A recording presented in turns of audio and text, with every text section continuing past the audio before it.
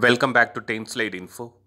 Another major milestone to be achieved once India's indigenous Astra family of the Beyond Visual Range air-to-air missiles like Astra Mark 1, Astra Mark 2 and Astra Mark 3 gets integrated onto the French Rafale fighters. Astra Mark 1 went through a series of ground tests in different configurations to validate the airframe, the propulsion system, the control system, the dual mode guidance, and the night firing capability. The carriage trials were carried out on Sukhoi Su 30 Mk fighters, and the missile was successfully fired using the same fighter. Astra Mark 1 was also tested twice with an indigenous seeker, and in a similar way, Indian Air Force released footage of the Astra Mark II, which was launched using the Sukhoi Su-30 Mk fighter using Unified Command Launcher, which was developed by DRDO. Seeing the performance of these missiles, Indian Air Force is planning to integrate them on the Rafale fighters using the help of Bharat Dynamics Limited.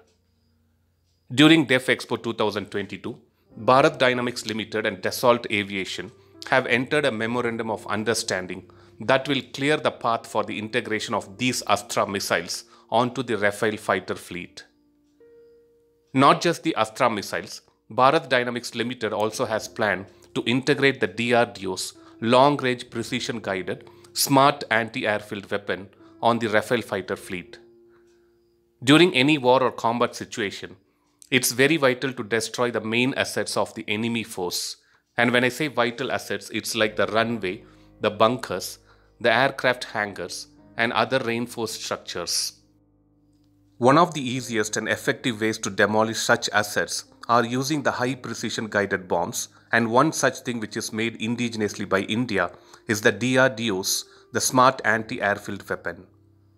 So let's hope DRDO, the Bharat Dynamics Limited, Dassault Aviation, and Indian Air Force successfully integrate the Rafale fighters with Astra family of missiles and also the smart anti-airfield weapon to make these French fighters even more powerful. Thanks for watching. Stay tuned to 10SlideInfo for more defense and aviation related updates. Thank you.